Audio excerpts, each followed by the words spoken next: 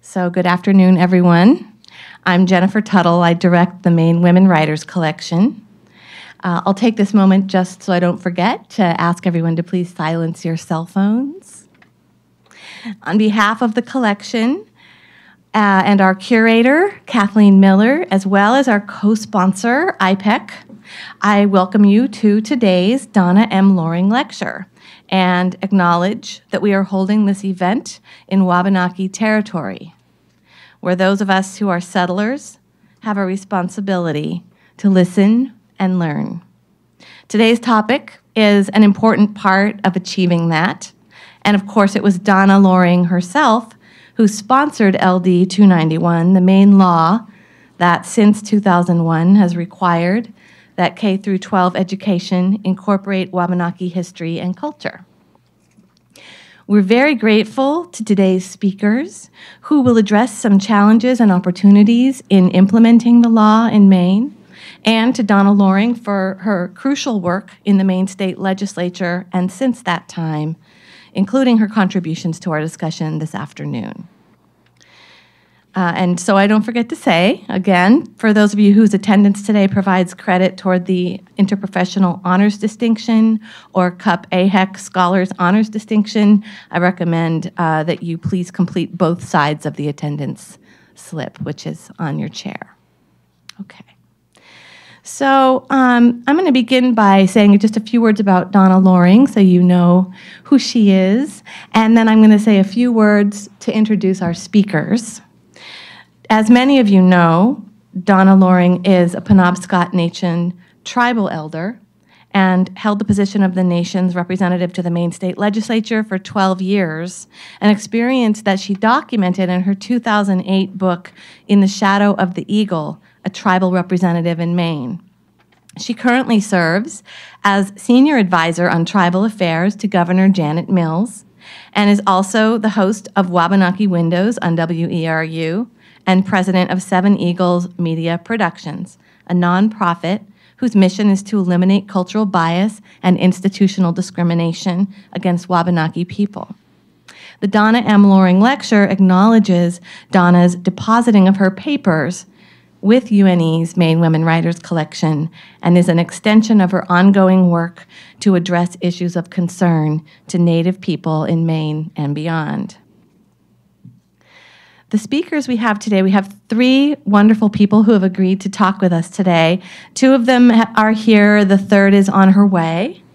So, um, one of our speakers today will be Fiona Hopper, who has been a language arts and ESOL teacher in the Portland Public Schools for 13 years. She also co founded and co teaches Race in the United States Perspectives for Portland Educators an introductory course for Portland teachers on issues of race, racism, privilege, bias, and equity. Currently, Fiona is the social studies teacher leader and Wabanaki studies coordinator on the district academic team.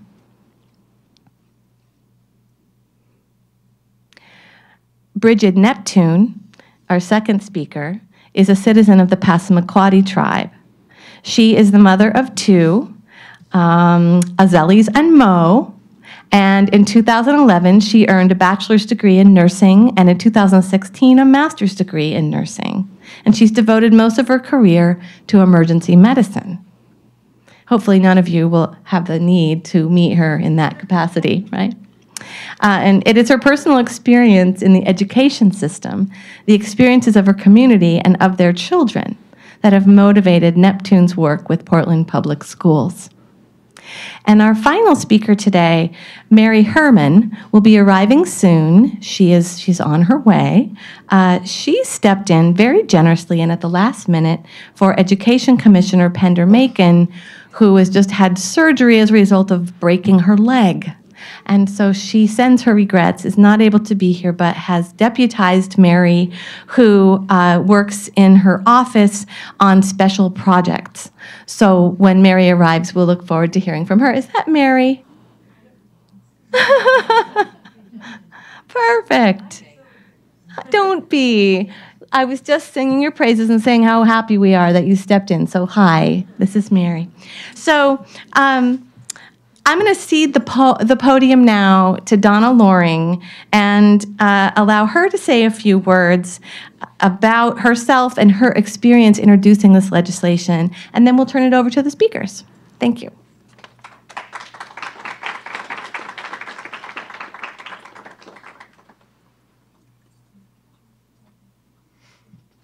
Good afternoon. Always a pleasure to talk about myself. Uh, let me just start out by, uh, you know, I had a, a birthday lately. Uh, you get older, you know, you try, kind of try to forget birthdays. So it just kind of reminded me, you know, these, uh, and I can say this because I'm an elder. Uh, there was these two uh, older women talking and uh, one says to the other one, you know, I, uh, my hearing's going, my sight's going, I can hardly walk, but thank God I can still drive.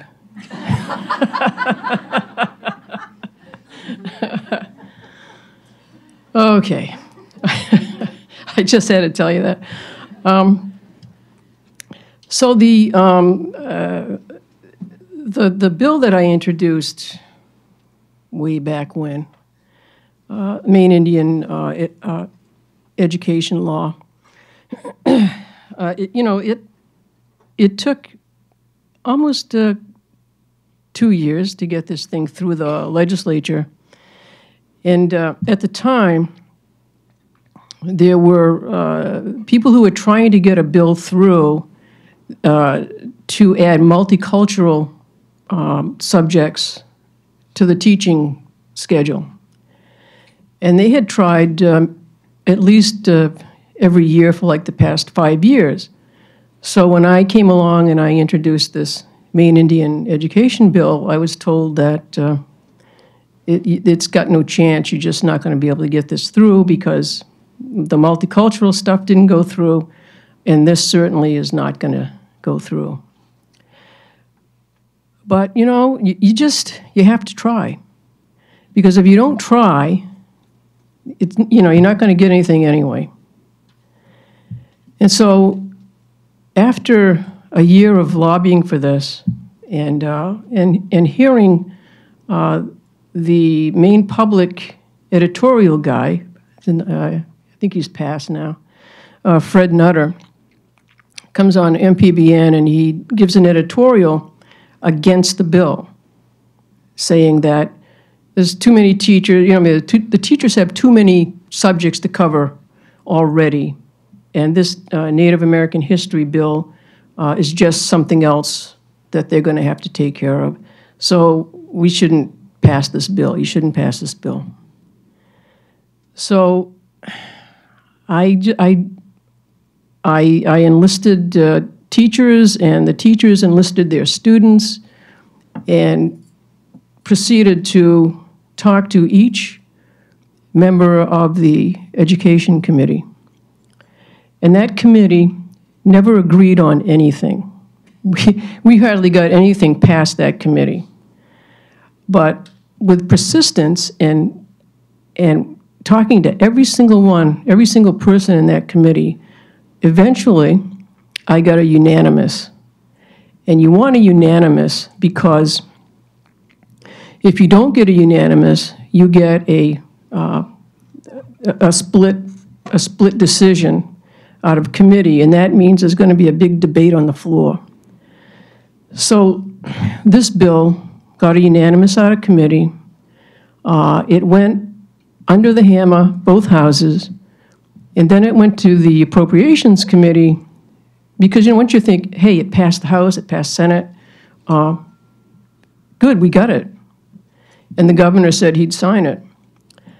So the thing with these bills is that once they get to appropriations, and if your bill, I don't care if it gets passed by House and Senate, if that bill goes on the table because it needs some money, it's dead. So I had to fight in front of appropriations to get this bill through, and they wanted to pull the guts out of the bill, which was the um, uh, the the commission that actually the, the, the History Commission, which was put together to gather materials for the teachers and help them uh, be a to be a resource to the teachers. They wanted to just pull that out of there. And uh, thank goodness that uh, Senator Mary Cathcart was the chair of appropriations because she uh, argued uh, that nothing that this bill went through education unanimously and that it shouldn't be touched. So we did. We got it through. Um, Governor King uh, said to me, "Mary, you listening?" Governor King says to me, Donnie, because he invited me to a, a, breakfast with a lot of the other legislators, and he made sure I he uh, sat next to me, and he said, you know, leans over to me, he says, you know, do you think I'm going to sign this? I said, I hope you're going to sign this. He said, yeah, I'm going to sign it. So we signed it, and it became law. And there's much more of a story to it than what I'm telling you, but. Uh, you only have an hour, an hour here, so I'm just going to give up my time and let people that really have something to say talk. Thank you.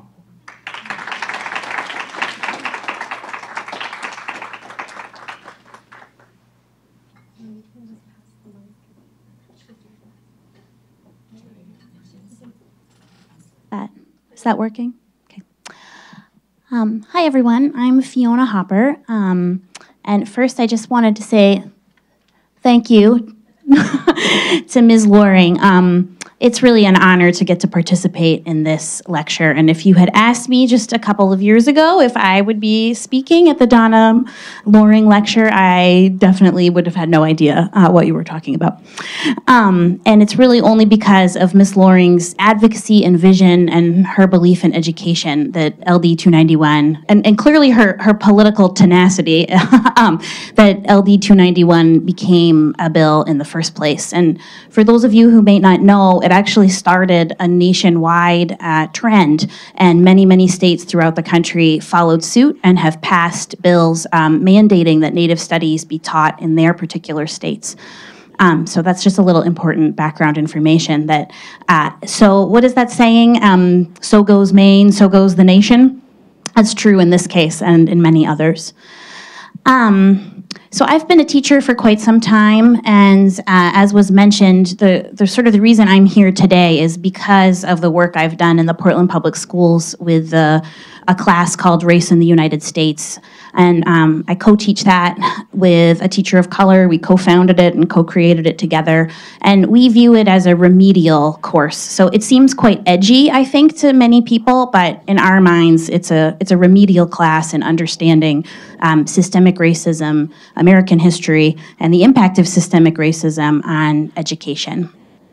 Um, and it was through my work in that class that I came to understand the deep importance of LD 291.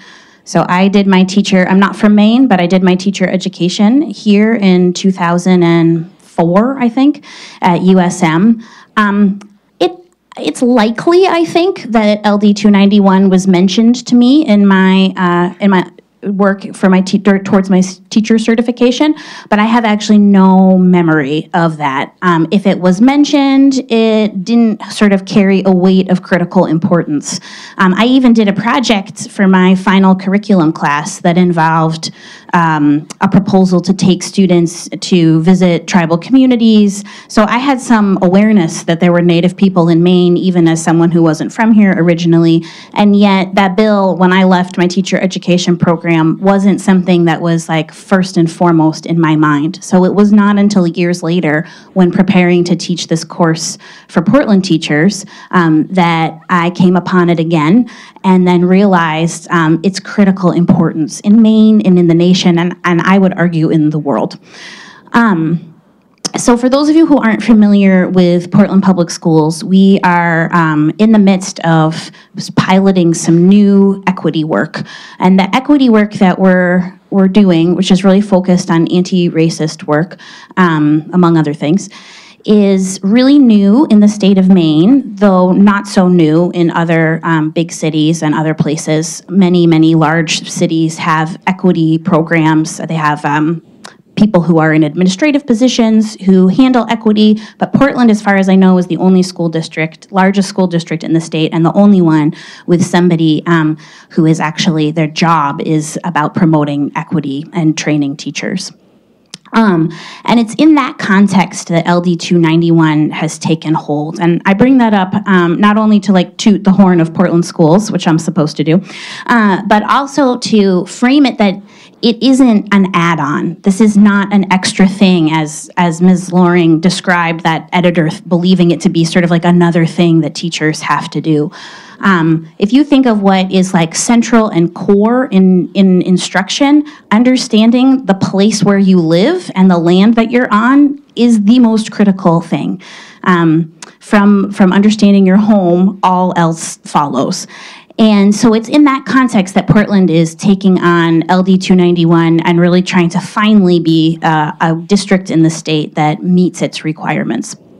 Um, so that's happening in collaboration with our equity work. Uh, but one of the, the central pillars of why it has become sort of a big deal in Portland all of a sudden is actually because of the collaborative work between uh, myself and Bridgid Neptune, who you'll hear from in a minute.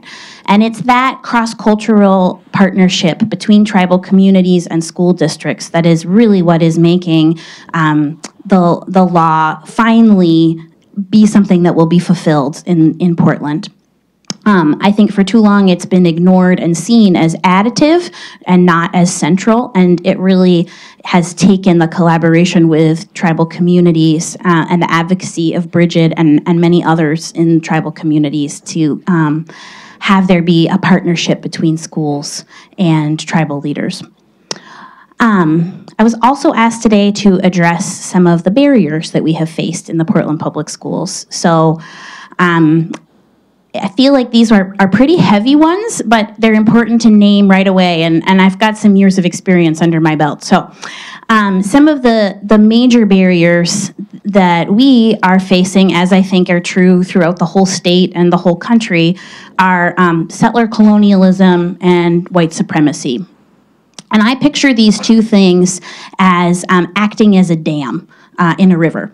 They end up um, turning, as a dam does, free moving water into an aquatic dead zone.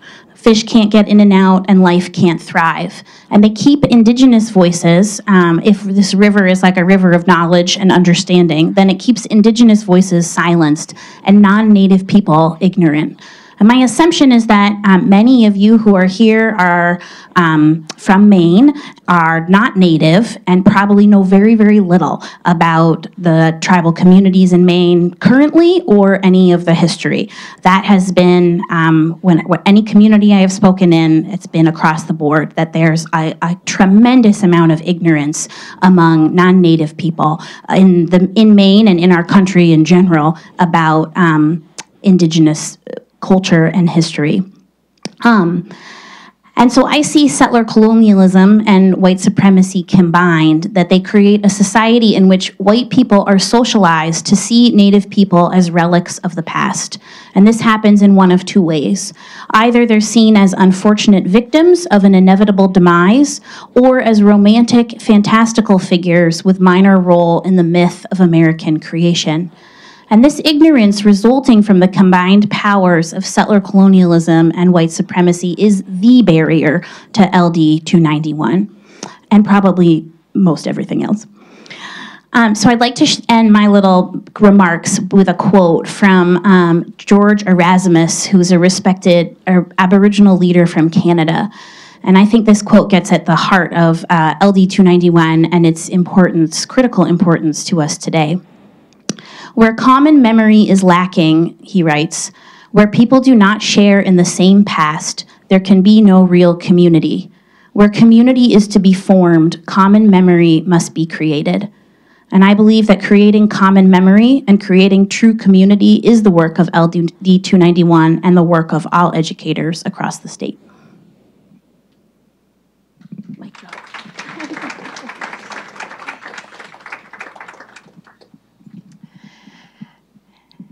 Hello, it's an honor to be here. Um, very grateful for this opportunity to um, speak to you all and uh, carry the work of our tribal leaders forward. Um, I grew up in Motahkomikuk, which is one of the Passamaquoddy reservations, one of two. Um, not sure if everyone here knows the four tribes in Maine. Uh, there's Penobscot, Passamaquoddy, Mi'kmaq, and Maliseet. And um, I spent most of my childhood on Motahkomikuk. I went to schools off the reserve, and uh, LD 291 was passed uh, close to the end of my high school career. Um, so I unfortunately didn't see the implementation of that. Um, my husband and I uh, were both from Motahkomikuk, and we have two children. And I began volunteering in Portland public schools and also other uh, schools in the greater Portland area with U.S. Fish and Wildlife, um, talking about salmon life cycle and habitat restoration. And we were hitting a lot of um, fourth grade students, and I really had no opportunity to speak about our. Um, you know, reciprocity for land and water because there were so many students who had no idea that there were natives in Maine. So I was answering questions like, do you live in a teepee? Um, knocking down assumptions that I wouldn't have a cell phone. Um, so, and it wasn't because their teachers hadn't taught anything about Native history, it's that it wasn't brought into the present. So there's this, you know, those who may know that there's, um, you know, Wabanaki people in Maine, they may not realize that there's a presence today and that um, you know aware of the four communities and that native people live throughout maine not just on the reservations. So initially i thought okay maybe this is just this district. They're really not doing well educating the students. Um, but as i visited a couple different districts i realized that this was a systemic problem and would require systemic change. And that's where um, fiona and i sort of started collaborating uh, she reached out to me and shared her ideas, and I wrote a letter and reached out to tribal communities um, leadership and asked for their support. And um, it's really encouraging to see where we are today. Um, and my role in advancing LD 291 in Portland Public Schools has been um, through a lot of volunteering and relationship and community building, establishing these um, relationships and um, working on the social studies vertical team. Social studies vertical team. Um, I know what it's about. I don't always remember the name. and that's it.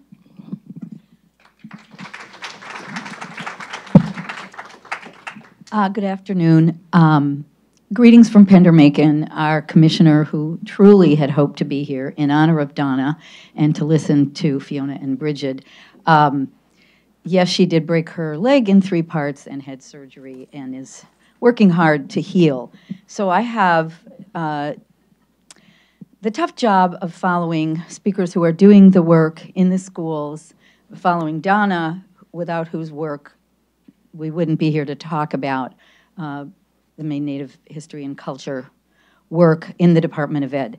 And uh, as mentioned, I do work in the commissioner's office in the Department of Ed, and I work with whatever the commissioner needs and special projects. And this is one of my very top, like top three, top two. And so I'm going to do my best to fill in for our commissioner and then answer any questions. So this is a little bit dry, but Donna told you the history of how the law passed. And after it passed, there was a commission that really rolled up sleeves to talk about content. And many, if not all of you, are education students. So whether I say the word content or curriculum or strategies, uh, forgive me, it's a long time since I was a public school teacher uh, which I was a long time ago. So basically, historically, um, I started in the department in March, and literally the first day we started talking about my working with the commissioner and working with Donna Loring, who is a special executive assistant in the governor's office, as you heard. And so we pulled together a small group to talk about kickoff of summer and fall of really refreshing, significant Maine Department of Education and Maine state government attention to Wabanaki studies. So then the larger group of chiefs, education directors, university native study professionals, and other interested people have met twice. Rev- we refreshed the history of the law and the study commission. We shared our different perceptions of if, how, and if, how, and how well Wabanaki studies are taught or not in Maine schools. We talked about what should be taught and what should not be taught, what type of assessment and resources would be helpful, what materials there are available now, and what we want to have available. We talked about pre-service education. Fiona mentioned she's not quite sure she ever heard about Wabanaki studies when she was in pre-service, as many of you are. So we've talked about the importance of getting to that. We, we also talked about some more sensitive stuff, which is why Bridgid's here to help us, and the message um, from Fiona what are the cultural competence skills that we as teachers and the Department of Ed need to display? We talked about the pros and cons of teaching standalone Native American studies content or integrating it. Pretty sure we all agreed the importance of integrating it. It is not a standalone subject. As you heard from Fiona, we are on the land of the Native Americans. Um, so it's important for me to mention that the new Department of Education learning results standards offer multiple inroads, and I have it right here for those of you curious, starting in kindergarten. Inroads and attention to Native studies, starting in kindergarten. Now, um, at our next meeting, we're going to really get down to nuts and bolts, and for those of you that are pre-service, we're going to talk about curriculum assessment, resource development and management, communications, and the very important and sensitive topic of raising awareness what is cultural competence? We're going to include human centered design for social innovation, which is based on design thinking because innovation is very important to the Maine Department of Ed. And although Native Studies starts with history a long time ago, we want to be innovative in how we integrate it. So we're going to develop action plans. Important for you all to know the group is open. We invite wide input and energy. Uh, the Maine Department of Education oversees and staffs the working group, but we're here to listen and and improve on what we're doing. I mentioned a minute ago that since the legislation passed and the commission uh, laid out initial study areas, we've expanded our content areas, we've added additional topics. Um, we want to assure greater accountability and making sure, as I said, that Native American and Wabanaki culture is mentioned starting in kindergarten important for those of you in pre-service to know the Maine Department of Education does not mandate what and how curriculum is taught. That happens at the local level. It's equally important that everybody knows that this work is at the heart of our endeavor, that it's important that we role model so that locals embrace Wabanaki history and culture in, in the right spirit. Happily, as you learned, the Portland Public Schools have already identified Fiona uh, to oversee curriculum support. I'm aware of, because I live in Brunswick and Pender used to be the deputy superintendent, uh, Brunswick High teachers have spent a week more than once up uh, in uh, on at least one of the reserves in Washington County, which which gave them confidence, and I, I hope that Fiona would agree with that. So we at DOE are deeply aware of the sensitivity of teaching Maine Native history. I'm not a native. Uh, we're pleased to note that we're in the process of hiring a specific or identified diversity and inclusion specialist who will be coming on board soon at the Maine Department of Education and will make sure we're on the right track, not just by curriculum, but by all sensitive measures. The working group has rolled up its sleeves. Oh, I'm sorry. Many members of the working group uh, who are the experts in Native American history and culture have already been working in school districts, so we're listening to the experts. Again, I'm going to mention because you're all here, we do want to give heightened attention to teacher pre-service or undergraduate ed and encourage real attention to teacher prep. Um, and finally, my own personal uh, request, uh, or I have a dream, I guess, in more than one way, but we really, I'm really hoping that one of the results of our work is to identify more Native American resource people who are able and willing and have the time to go into schools and work with teachers at all levels. And I know and we know we need to identify the funds to support that. So I'm going to stop um, I'm going to be around later for those of you interested in some more nuts and bolts of what are learning results, what are standards, what do we do when. I have that, but I think I've already taken more of my time, and it's time for questioning the people that are really doing the work in the field.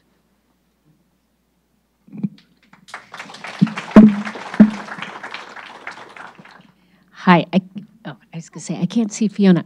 So um, I'm Lane Clark. I'm education professor. I'm also the parent of a Portland Public School child who came home yesterday with his spelling list. And the first word was Wabanaki and then Penobscot. I actually now I can spell all four. Well, I can at least tell him the words and he can spell them. He didn't get indigenous right. That one he needs to work on. But it made me think of, and I said, oh, great. And then I thought, well, it's the week we teach, you know, a Wabanaki history, indigenous people. And I'm just, Fiona, you talked a little bit about how you don't want this to be a standalone curriculum piece and how you really want it to be more of a central, you know, emanating of the, the culture and the core of what we believe. But that's hard. And I've seen a lot of the standalone. How do you work? How do you kind of work against that? Or how do you help teachers see that as not like, oh, this is Indigenous Peoples Week, and then next week we won't talk about it anymore? That's a great question. Thank you for asking it. Um, so this year, I am leading a social studies vertical team, which just is education jargon for there's pre-K teachers from pre-K all the way to 12th grade, also Indigenous parents and students from the Black Students Union at Deering High School, and they have started some decolonizing work of their own. So my answer to my my both long and short answer to that question is it's about the framework that you take to be looking um, at Indigenous studies. And the, the reason it becomes a standalone is because we exist in a highly colonized educational system in which we compartmentalize everything into a little box.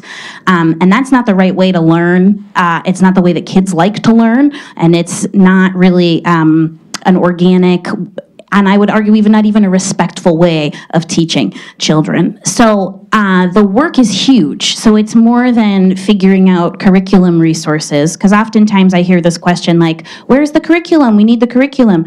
There are amazing curriculum resources out there for Wabanaki studies. People um, who are not native and are entering into the teaching profession, and Maine, like the nation, is dominated by um, middle-aged, or in my case, soon to be middle-aged, white women. Uh, that's who the teachers are in our country and in our state. And um, you could give many people the best curriculum that there is and they don't know what to do with it.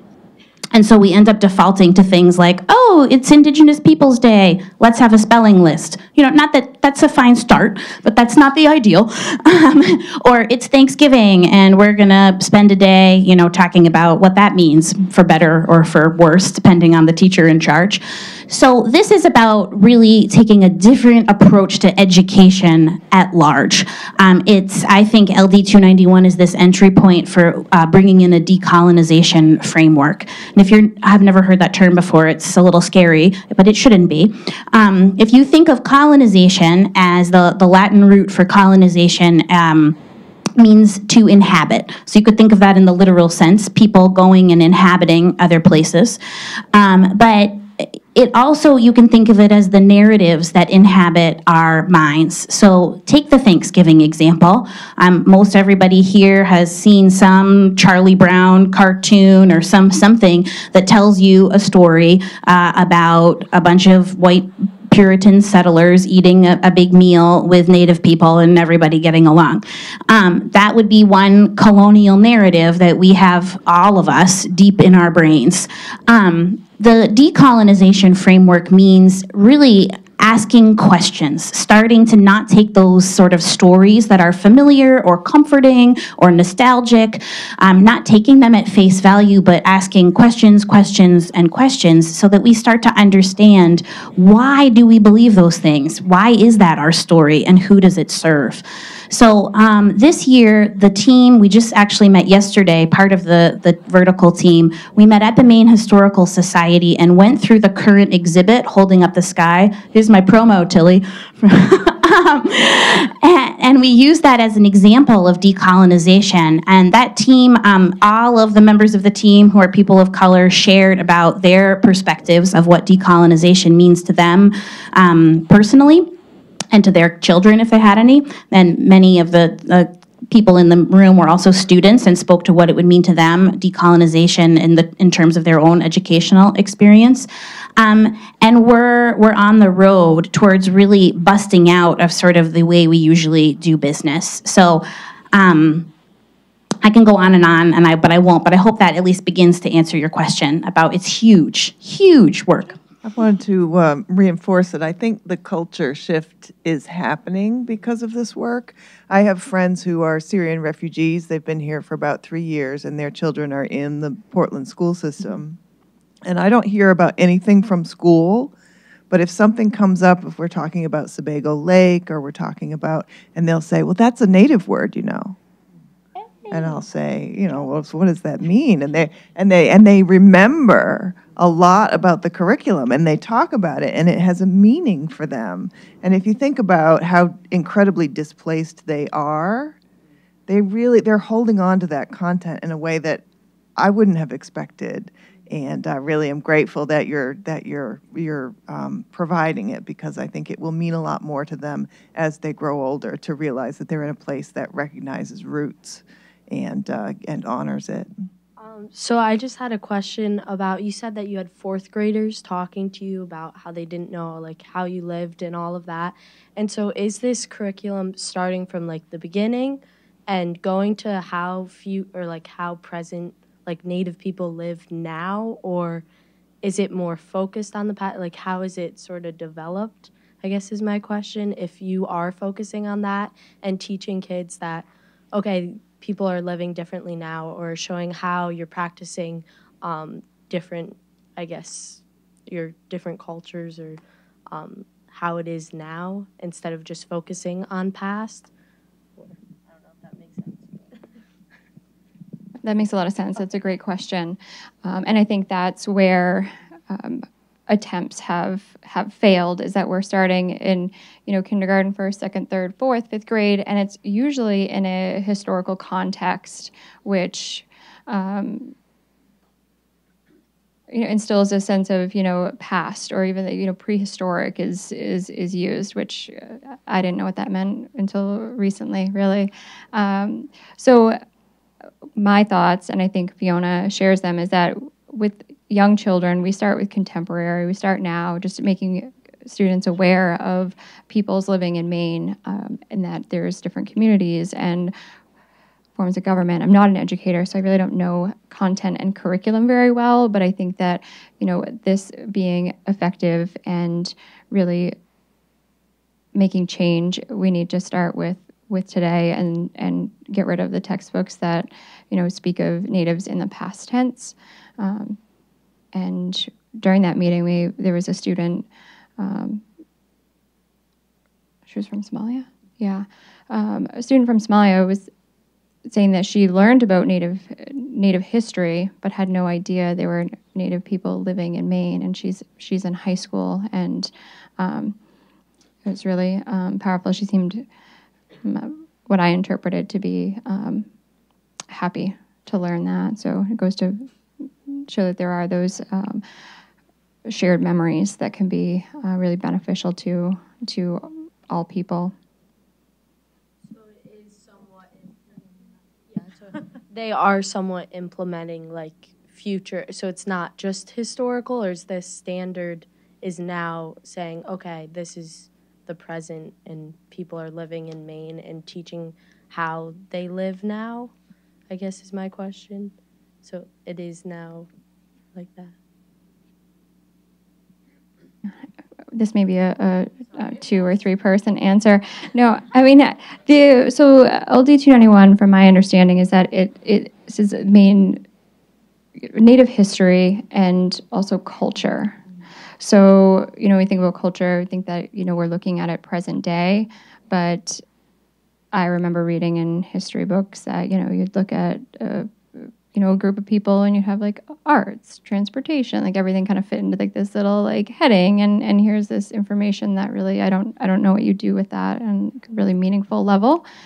Um, so i think it's important for as we develop this curriculum because we don't really have a um, formal curriculum yet it's all being developed which is part of the social studies um, work group and collaboration um, but it's gonna it's going to highlight, um, in my mind, it's going to highlight the presence, and I think also, you know, putting Native or Wabanaki history culture into a box of social studies is is not ideal. I think that that perpetuates um, white supremacy because we're not recognizing the ecological science contributions that Native people have made.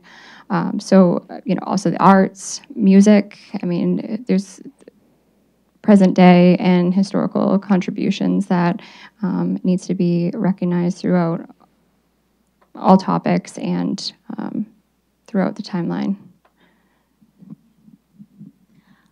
I, I think Bridgid answered it well, but yes, uh, it will begin with contemporary focus. Um, what we have discussed again and again is that the biggest mythology out there is that Native people no longer exist. And so you have to start early, early, early in a child's education um, for them to like to counterbalance that mythology. Um, so that rather than focusing on these sort of fairy stories about Thanksgiving, which I, as an elementary school teacher, I've taught at every grade, K 12, but a lot at um, grades three through five. So instead of focusing on those past events, that elementary school in particular would be the time to focus on the contemporary lives and reality and presence of Native people in Maine and, and everywhere else. Thank you. Hi, I'm Julia Einstein. I work for the um, Historical Society of Wells and Ogunquit. And I am here because I saw Darren Ranco um, or heard him speak at the keynote. He was the keynote speaker for the Museum um, and Archives um, uh, conference this past Friday. He, as well as uh, Cinnamon from the Abbe Museum, had a nice um, panel discussion at the kickoff to the uh, Maine 200 um, back in March. So I've heard the word decolonization a lot. And um, from my point of view, what I'd like to do is figure out ways to make public programmings. Perhaps they're even family programmings, programs that um, tie in, bring bring different people in, including the school teachers, or certainly the the students of those teachers, the students in that community. Um, so that's why I'm here, and I'm excited to kind of, because I feel like we're educators. you know, we're bringing people through telling these stories through objects.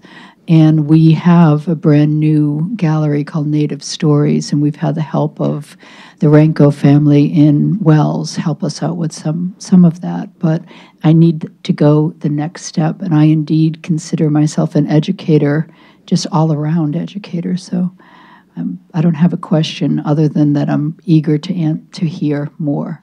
Oh, um, I, I would I would advise that you um, read the book uh, "Decolonizing Museums" by Amy Lonetree. It's a great read for um, anyone in a museum or in an education, because my God, schools and museums have way too much in common. Um, and there's a there's a three-part framework she outlines for decolonization, which is what have been our guiding principles in Portland. Um, collaboration, so collaborating with indigenous communities. Um, privileging of indigenous voices. Uh, so that's the kind of back to your answer about like contemporary voices being an important part of the curriculum and truth telling. So um, I also am the parent of a am I not doing it right? Oh, sorry, I'm so terrible at these things. Um, I'm also the mother of a Portland Public Schools student who's now in grade four. Um, and last summer we drove through Pleasant Point, um, and my daughter just said, you know, well, what is this place? Is this a city? So I kind of, you know, we tried to explain what it was, and she said, well, how did how did these people come to live here? and you know, um, this isn't you know this isn't how it's supposed to be. And I thought, well, you know, I have really fallen down on the job if she's asking these questions. So I'm I'm kind of curious um, from your perspective, what are some things that we as parents can do at home to support um, the programs that you're describing taking place in school? Because I feel like school can provide a certain amount of progress toward these um, goals, but parents should also be um, supporting that progress and uh, trying to recognize those goals. I was maybe going to ask Donna, because I don't have in front of me, uh, for um, resources and books that would hopefully be at your public library, if not at the Maine State Library. Oh, wait a minute. It's right here. Yes, the list. So um, I don't know if Donna wanted to mention particular books for young children, for families to read together and have discussions. Fiona's got a list. And I, before we leave, I have a couple of comments, but, I, but I'm going to save it. Fiona, you can read your list. Oh. Um, I, it was really hard to keep it short because there are so many wonderful resources out there. Um, I think if you have the means and the time to take your children to the Abbe Museum would be a wonderful place to start. Um, and there are movies and there are books and there are YouTube videos and there is curriculum and there is online language dictionaries and there, I mean, the resources abound. So um, this is just a very, very beginning list. It's, um, it's really oriented towards teachers, also giving some teachers some, or pre-service teachers, some resources for verifying books. Like you might find a book and then you might want to know like, uh, is this like, uh, portraying Native people in a respectful way, or is it not? Um, there's a wonderful blog called American Indians in Children's Literature. It doesn't have every book out there, but most, and great reviews of it. So I highly suggest that you. Um, question things and teach your kids to question things you know go if you're if you're unsure of whether a resource is um, providing accurate information like let your kid participate in that exploration of verification with you that's for teachers and for parents First of all, Mary, you didn't mention um, anything about the state website. I, I- cut myself off. I know. have five pages. But there's, there's a lot, there's a lot of resources on that, that state website for books. Um, A couple great books, uh, Lee, Leanne Francis wrote a book, I forget the names of these things. You got them on your list? Yeah, yeah, and uh, Donald Soctomah, he, he's, uh, he did a book about a canoe, yeah, making a canoe. Um, Allen Sockabasin, um, what was the name of his? Thanks to the Animals, yeah. So, you know, there's a lot of uh, really good children's books out there. And then there's, you you know, the thing is that when you say Indian, you think of the, you think of feathers and headdresses and teepees and, all you know. And the thing is, you know, even we do, even Native people look at themselves like that. And I think that uh, we, we get up and we go to work and we pay, we pay taxes, believe it or not. Uh, you know, we get in our cars, we drive. Uh, you know, I mean, so what is it? What is it that's so mysterious about Native people? You know, we have our communities that we live together. You have your towns. Um, so it, it's just not a big mystery. I, I, don't think. What, what about you, Mary? What do you think? Um, I'm, I'm learning along, that's why I turned to the experts who are doing it. Um, But I don't want to forget, and I'm so happy Fiona mentioned the Maine Historical Society. Please get there if you can. And also, please add, and students are pretty busy, Colby, this is the, the, the, Donna's Law was Native American history and culture. And contemporary Native culture is on brilliant display at the Colby College Museum of Art. Some people here are nodding, yes, you may take your kids. There are places you can hands-on touch the ash, you can touch the sweet grass out of which baskets are made, you can touch the birch bark out of which canoes and other uh, items are made. Uh, You will treat yourself to go to the Colby College Museum of Art. Um, It's not open Monday, but take your children there and spend as long or as short as they can manage. Um, and that's, and I, I, I know we're running out of time. So while I have the mic, I also wanted to mention that uh, the Maine Department of Education Professional Development Teacher Training Day on the new Wabanaki Studies uh, pieces is uh, October 23rd, all day in Hampton. And probably most of you in this room are full of things you have to do that day, which I understand. But for those of you that are free that day, I've asked Joe Schmidt, our social studies guy, uh, there, there are slots. And if that's something that some of you in pre-service or as educators think you could be part of, uh, come see me and we'll see if we can get you up there. Okay. Uh, I just want to thank you and say I didn't realize the magnitude of the work that you're doing. I had this image as you were talking about that we have a a house of education that we've built in this state, and it's kind of like you have to jack up the house and put in a new foundation, and that that has to kind of play out throughout every piece of our educational system. So, thank you for kind of giving that big overview. Really helpful. So there's one last um, question over there, and so we'll take the mic over, and then I'll just let everyone know that at that point, you know, please give answers if you're willing, and then if folks have to go, feel free. If you can stick around for a few minutes, I think a couple of the speakers might be able to, but people will we'll keep it more informal at that point. Hi. Um, so yeah, I'll stand up maybe. Hey. Um, so I'm a researcher um, based in the UK, and actually the term decolonization is being thrown around everywhere right now, especially in the social sciences, to kind of allude to a voice of color or representation of people of color or anything to do with um, deprioritizing white Eurocentric voices.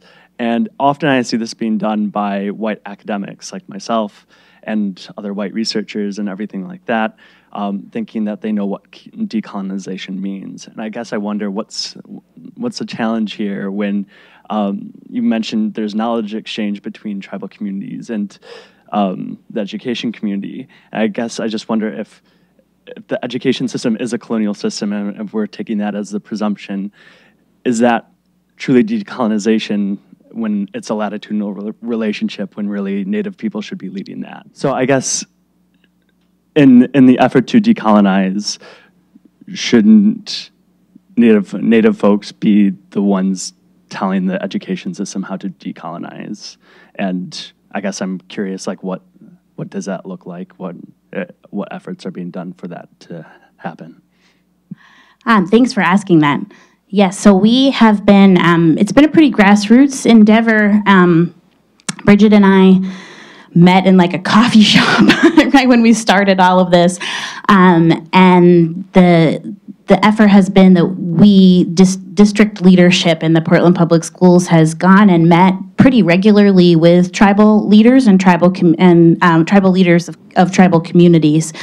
Um, and have that's where the conversation began was what what is it that tribal um, leaders think this should look like and how can we make that happen within a highly colonized system as you point out i mean you know we're we're working with um, I'd like I like to say it's like it's de, it's decolonizing in that it's a process that will have to go on forever because we'll never actually get to the we're decolonized place. I, I don't know who will or when.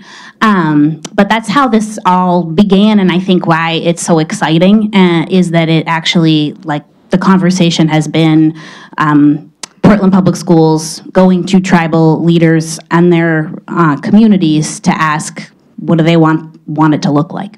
So I just wanted also to touch on that and say that Portland Public Schools has done a phenomenal job as far as Fiona and Malia McNally. Nally and Xavier Botana, they have sat down and truly listened and taken that feedback and revisited the conversation multiple times. I mean, our, my closest relationship is with Fiona, and she's constantly circling back around. This is what I heard you say. Is this right? How does this look now?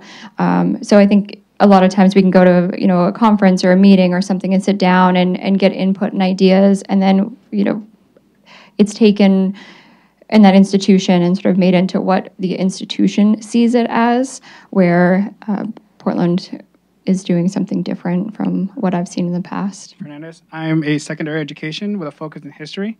So as a as a future teacher, hopefully in the Wells area, um, I was kind of wondering how would you address the parents? Like uh, my wife's family is very conservative, so they are already in a sense feel attacked when they take away certain parts of history from classes.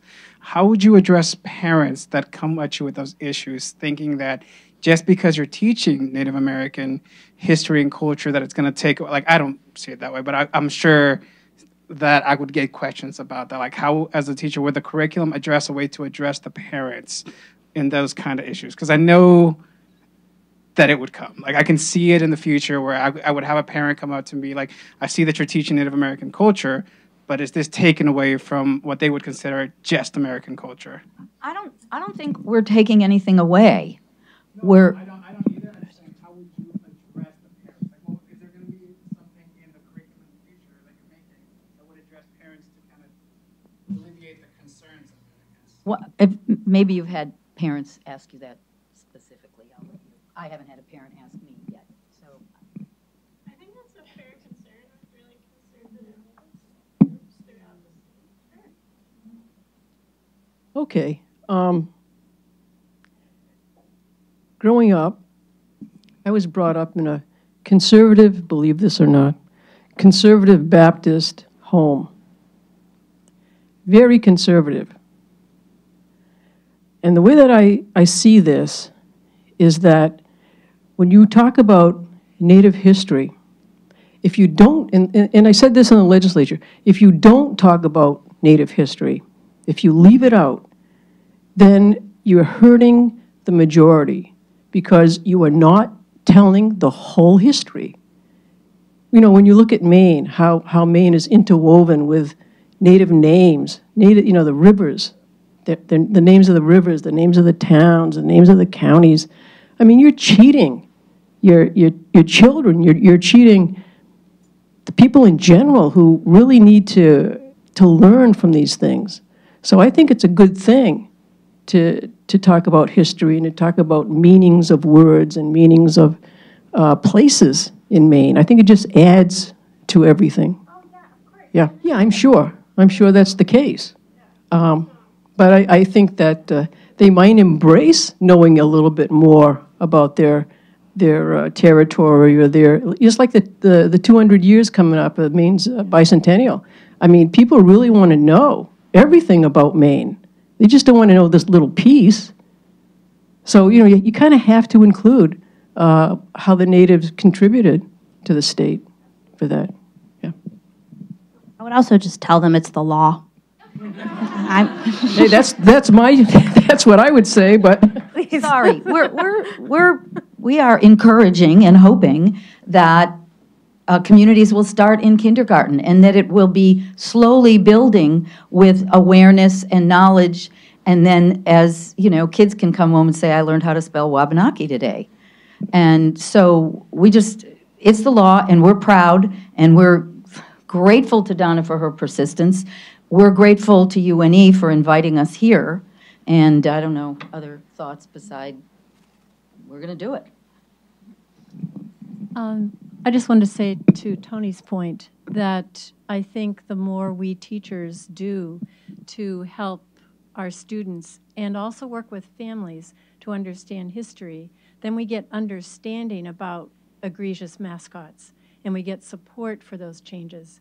And I remember, I think it was in um, Sanford, that it came from the students. The desire to change that mascot came from the students.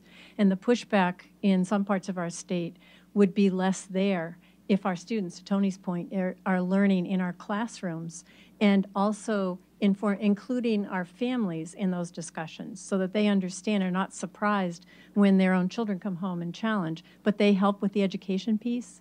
So, yeah. Thanks. I don't have a question, but I just have a point that I just hope isn't lost on all, all of our students. This is an IPAC event, and you have modeled amazing interprofessional collaboration. And I want to make sure that our future teachers know that the, the work that you do does not just exist in the walls of the classroom. You need to push out and you need to connect with others. And I just wanted to thank you for that. Hi, I have a nuts and bolts question about where the resources reside because I know that, like, um, at Maine Historical Society, we have curriculum that we're putting on Maine Memory Network, but there's also stuff on the state website, there's stuff on the social studies website, there's stuff on um, Portland Public Schools. So, how are we going to coordinate getting all of that in one place so that teachers have access to it?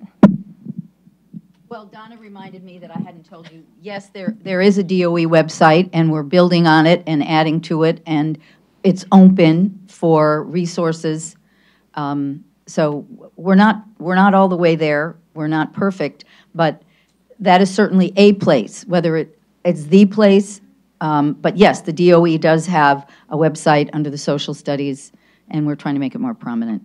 That's a great question. Sounds like we should figure that out. I think it's a challenge that it's good to hear. Yeah. We have something, and you can check it out, but we don't have everything.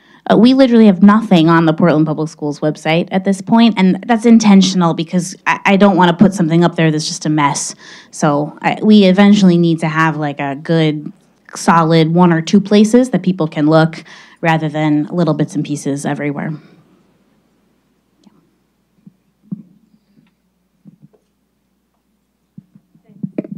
I'm Heather Sadley. I'm a professor in the education department here. I just wanted to applaud you, uh, all the people who are getting um, resources up on the state site, because the students in my social studies class, I, we just introduced ourselves to them last week. But they're excellent, and I think they're far-reaching and they're multi-layered. So thank you, because we can go there, um, and we recommend them. The, the resources they're they're excellent. Um, so thanks. On the the earlier question about how do you handle the conservative parent? I, I, think that we have a problem in the way that we do history education and that we make it about names, dates, places, little bits of information that you can kind of squirrel away. And the reality is that isn't what history is. History is about interactions. And the interactions get complicated because there's power dynamics and all these sorts of things. But if you emphasize that it's people who are engaging with other people, and people who are engaging with the environment that they find themselves in, and that that shapes the way in which uh, they experience the planet and engage with one another, um, then you start getting at things. So, is it if you talk about Native history, you're losing uh, white history? Well, no, you're not telling the story. You have to look at how different groups that interact with one another, in fact, engage and what the implications of that are. And I understand that we tend to do K-12 education and, you know, here's names, dates, and so on because it's convenient and easy and you can uh, test on it very easily. But once students then get to college, I'm the chair of the history department, once they get to college, they don't have any clue what history is, and they typically don't like history because they've discovered that it's boring because they think it's just names, dates, bits of legislation, battles, and I have to then try to teach them otherwise. So, you know, I think you could do a lot in terms of uh, talking about the history of Maine simply by complicating the picture and, and talking about you know, what happens when people who are different engage with one another and how does that change each. Um, when we talk about decolonizing, there's an assumption that uh, the colonized doesn't have power. And in fact, they have, of course, they have less power in a sort of traditional dynamic, but that doesn't mean they're without agency. Um, I've done a little work on uh, British India, and the assumption in a lot of that literature is that the Indians had uh, no uh, nothing that they could do in the face of British colonial power, and that's actually not true. They were very smart and often very subtle. And the story gets much more interesting when you start looking at that. And I suspect you could do the same here, and that it would be really compelling. I'm not sure if I'm going to word this correctly, but um, I'm student teaching currently, and I'm working on a team, a first grade team.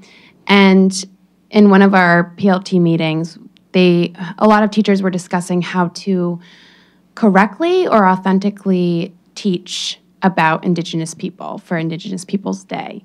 And they were, you know, looking for resources and trying to like outsource because they wanted to do it, I say correctly, or just without being offensive. And they and I was hearing teachers saying like they weren't comfortable doing not that they weren't uncomfortable like teaching it, but they felt like they would do it wrong. And so what would you say to those teachers to gain confidence? And maybe it's just reviewing the resources and gaining more knowledge.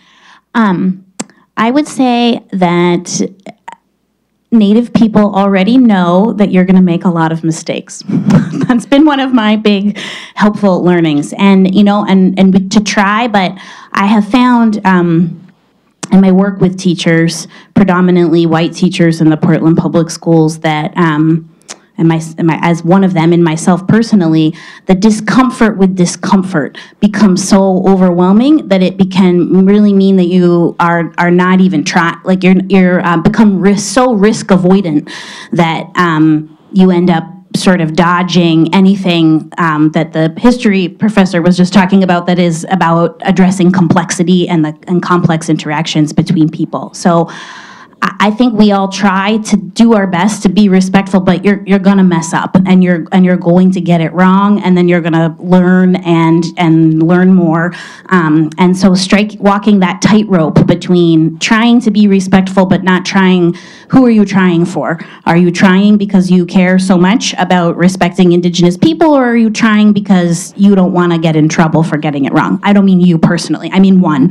Um, and I feel like that's a, a really important part of the reflective teacher practice to be asking, like, we, we tend to think that that discomfort is about protecting other people, but usually it's just about protecting ourselves. And by ourselves, I mean, to, I'm speaking as a, a white lady teacher, and there are a lot of us out there. I just want to say I was reading earlier today an article on white supremacy culture, and one of the things is about perfectionism and doing everything right and not doing it if you can't do it right. So, like, really, how do we start to question what it is to be right? You know, and like to make mistakes is part of learning, right? So, well, and, um, Professor, um, you mentioned so much of history is relationships, and it's relationships with people, and relationships with the land, and relationships with the changing um, industrial world. Um, and so I, I, had, I had two thoughts, and I don't know if this would work. So I didn't run this by Fiona and Bridgid yet. But as the first grade teachers are saying, what do we do? Well, guess what? Maine Bicentennial is coming up next year, and a really important part of the history of our land, our state, is the Wabanakis. Da da da da da da. And maybe we bounce off of, which needs to happen for all of us anyway, that Maine history started with Wabanaki history, for example. While I have the mic, and you're so nice to keep staying here, I just this morning started listening to Malcolm Gladwell's newest book. It's called Strangers. The students in the room aren't going to be able to read it until the summer. But those of you who have time to read, or better listen, because he uses original sources, this book, Strangers, and I've only heard the first chapter, is about strangers and how we learn from our interactions with strangers, and I couldn't help but mention it. Thank you. And I just wanted to make a remark about your question about the um, parents and sort of how to how to handle those things. And for all teachers in the room, I would encourage you to assume that there's Native students in your classroom. They may not have feathers and look native. Um, but just to assume that there's there's native students in your classroom, your colleagues, there may be native students. So when you're thinking about how to address that, um, you know, issues that arise, I don't I don't know how to suggest you handle that, but to remember that you know your relationship and interactions with the students who may be native in your in your room, and that there has been such erasure and loss of identity for Native people here in Maine. That you know, if you can center center that and and approach approach your uh, discomfort with that in mind, it can be really helpful. And and recognizing that the you know all of this work is important teachers are important, but ultimately it's about the the students, our children, the future parents and teachers and community leaders, healthcare providers. That's that's who this ultimately is about. Okay. Well, thanks everybody for being here, and thank thank you to our panel. You all were wonderful. Um,